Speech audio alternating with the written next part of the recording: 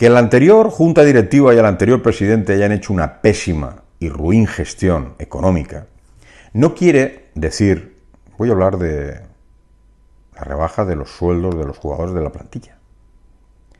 Por una pésima gestión del anterior presidente, no se tienen por qué perdonar cantidades económicas los profesionales. Los profesionales tienen una vida más o menos corta, ahora es un poco más larga porque los métodos de entrenamiento alargan la vida del, del jugador, terminan un poco más tarde, pero el jugador termina de un momento a otro su carrera deportiva y quiere ganar lo máximo posible.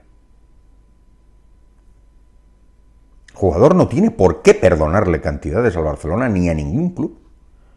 Si hace el favor este año de rebajarse el sueldo y lo que no cobre este año cobrarlo en los próximos, cuando esté el Barcelona mejor económicamente, me parece digno y eso me parece loable y me parece de aplaudir a rabiar. Pero no quiere decir que vaya a perdonarle el 40 o el 50%.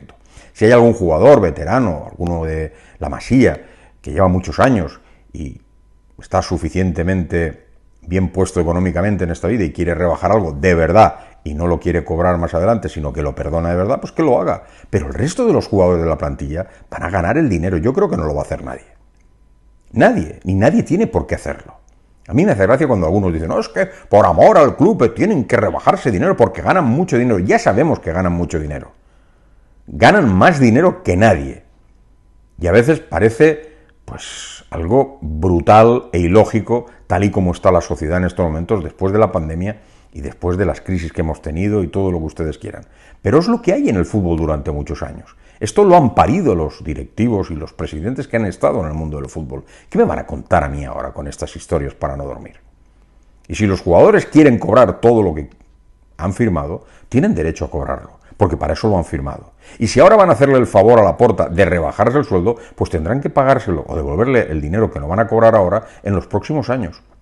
Que tendrán que renovarle alguno algún año más, como hizo Bartomeo con algunos de esos jugadores y nosotros, los profesionales de los medios, pusimos el grito en el cielo y dijimos esto es una locura y esto no se puede hacer, pues con la porta también va a pasar lo mismo posiblemente, ojalá me equivoque. Y si pasa, pues también estará mal hecho. Pero también es verdad, y no es por defender a uno y por meterme con el otro, que la porta se ha visto en un callejón sin salida y en algunos temas no tiene más remedio que hacer ciertos movimientos. No le quedan más.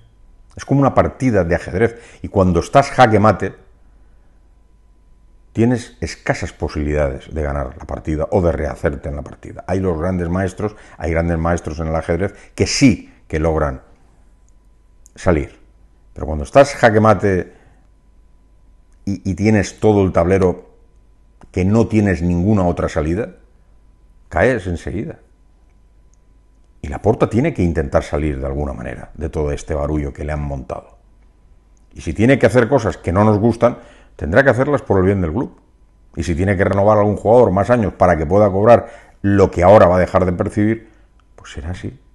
Y no estoy diciendo que lo haga bien, lo, lo haría igual de mal que lo hizo Bartomeu, pero es que no le han dejado otra salida, no le están dejando otra salida. Es como lo de los trueques, yo me enfado mucho con lo de Griezmann. Oiga, es que, es que me voy al Madrid, es que al Atlético de Madrid, es que va a ser un trueque por Saúl. ¿Pero por qué? Si es uno de los cromos más caros que nos quedan después de Messi. ¿Por qué no lo podemos vender?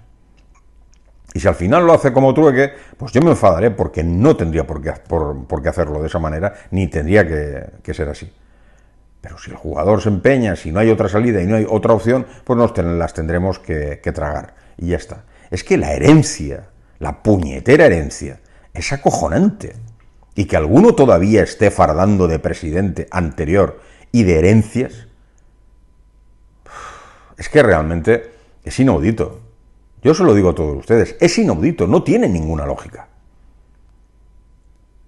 Y los jugadores bastante van a hacer si se rebajan ese dinero, pero tendrán que cobrarlo a posteriori, los próximos años. No se tiene por qué quitar dinero y no pagarles en los siguientes años. No se pueden perdonar cantidades, son profesionales y hay que entender, y si ustedes fueran jugadores y estuvieran en el pellejo del jugador del Barcelona, harían lo mismo o no defenderían lo suyo. Es que hay algunos que hablan por las redes y hablan por los sitios eh, estos de, de, hablar y... porque ellos lo saben todo, lo saben todo. Yo conozco a mucha gente que lo sabe todo, pero no saben realmente ni la mitad de lo que dicen saber. jugadores tienen todo el derecho del mundo a cobrar y a percibir lo que firmaron. Son profesionales. Y ustedes lo harían de la misma manera. Que ahora se ponen todos de acuerdo, aunque ahora de momento está todo en stand-by, y dicen vamos a bajarnos, pero luego tendrán que cobrar lo que no cobren este año. Tiene que ser así. Yo lo veo de esa manera. Y si alguno quiere perdonar algo, pues que lo perdone, será porque tiene mucho y porque no, no le hace falta. Pero la gran mayoría de los jugadores, por no decir todos, tienen que hacer las cosas mirando sus propios beneficios. El Barça es el club donde están, tienen que apoyar al club y si hacen la rebaja, bastante esfuerzo y sacrificio están haciendo, pero sus cantidades tendrán que cobrar lo que no cobran este año en los próximos años y los que tengan que alargar un año más de contrato o dos, pues a lo mejor, aunque no guste, se tendrá que hacer. La herencia, la herencia, esto es por la herencia, evidentemente.